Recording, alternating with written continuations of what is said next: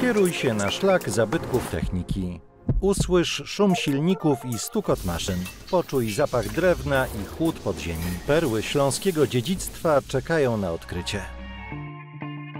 Tarnowskie Góry. Zabytkowa kopalnia srebra. Zostań poszukiwaczem skarbów w zagadkowej kopalni srebra. Poznaj metody wydobycia metali i poczuj niezwykły klimat podziemi.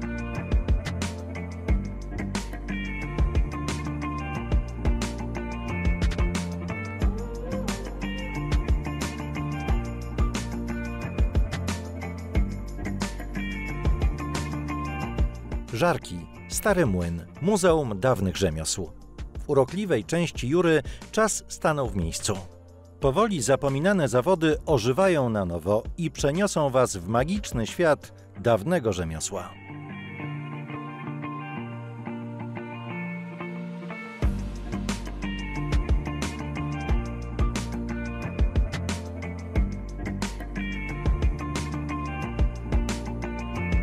Tarnowskie Góry, sztolnia Czarnego Pstrąga. Podziemna żegluga ponad półkilometrowym odcinkiem najstarszej sztolni w Polsce. Miejsce, gdzie krystaliczna woda i karbidowe lampy dają szansę dostrzec odbicie Czarnego Pstrąga.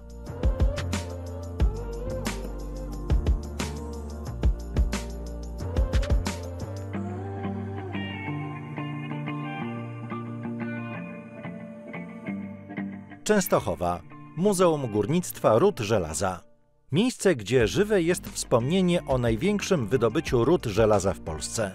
Setki eksponatów umieszczone w malowniczym punkcie parku imienia Stanisława Staszica.